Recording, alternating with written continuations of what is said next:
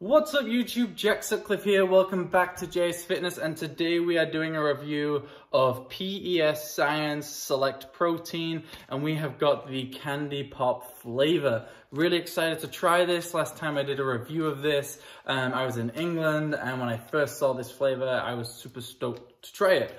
Um, I'm not going to do a full review of kind of everything, which has already been covered in a previous video. I will put the link somewhere on the screen. So I'm just real quickly going to do a quick flavor test, quick mix test, um, and call it a day there. This is only half a sample serving, as you can see just there. Um, but like I said, if you're wanting a full breakdown on my thoughts on this protein, check out the video. Real quickly, so let's just rip this open. I'm uh, having to kind of put it in down here out of sight. Oh, bugger, just dropped some of it in my drink.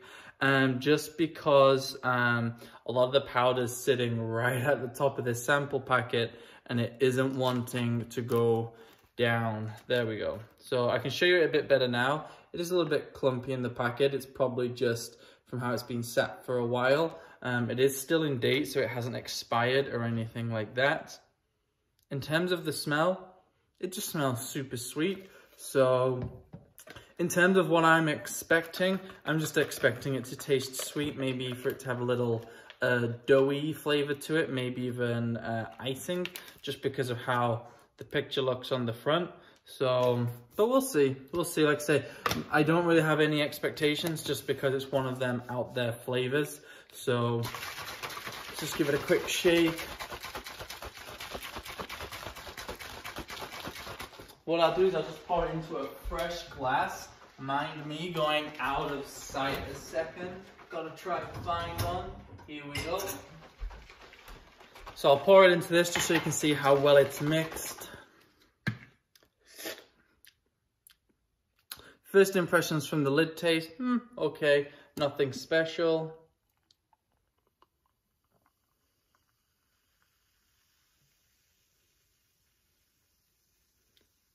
So there you have it. You got a little bit of foaming on the top, as you can see just there. Um, in terms of sinkers, there isn't any sinkers in there, which is nice. Doesn't look to be anything floating or anything like that. In terms of taste,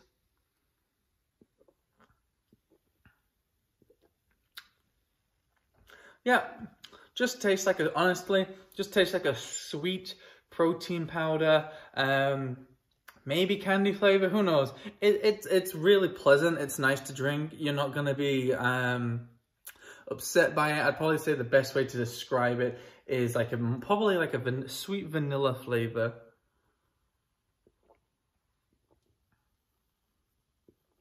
But yeah, to be honest, um, you're not going to be disappointed if you buy this. If you do like the sweeter proteins, um, so yeah, all around pretty good. Texture, really nice and smooth. There's no lumps, there's no clumps. Um, I really can't complain, to be honest. Uh, PS Science, PE Science, whatever you want to call it. Uh, you've done a good job here. Gets a thumbs up from me. I would certainly probably buy this again. Let me just double check these ingredients real quick because I'm just really intrigued.